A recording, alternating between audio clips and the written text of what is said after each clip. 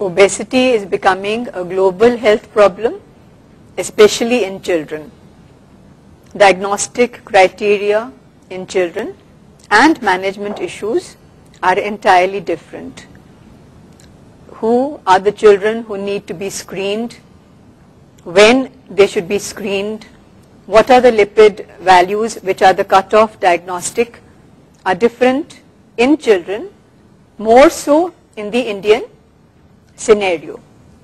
Because we know that metabolic syndrome exists today, metabolic syndrome is more prevalent in the Indian children. Management issues, always we start with lifestyle and these are the young ones whom we want to educate.